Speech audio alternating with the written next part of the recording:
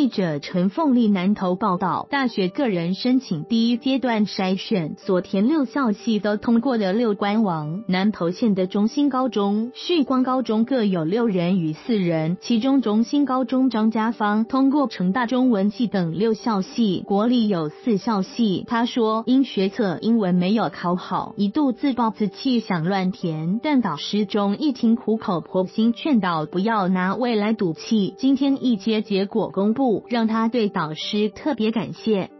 中心高中此次大学个人申请第一阶段通过筛选，填六校系全通过的有六人，其中张家芳通过成大、中兴、中正、高雄等国立大学中文和政治法律系及私立东海法律系和世新广电系电影组。他说，其实能通过这样多校系，且其中有国立明星大学，要感谢导师中一听苦口婆心劝导，要他不要因英文没考好就。就乱填赌气，并协助选填校系，才有今天的结果。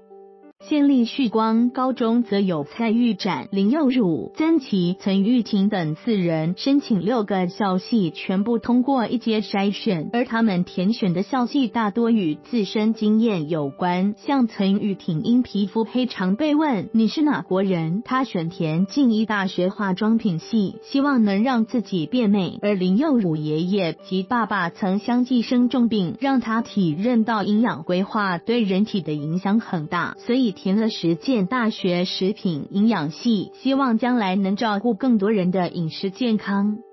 中心高中今年学测高分群学生。因填选的多为明星大学热门科系，竞争高中多，一阶通过的校系反而不多。像学测考了六十九积分的全校第三高分，但一阶仅通过国立成大航太系和中兴大学电机系。另外，其数理班的同学则很多人以最有兴趣的科系为选填目标。黄彦豪通过中山等四所国立大学的资工系，曾俊奇则一阶通过台师、高师和中正。大学数学系，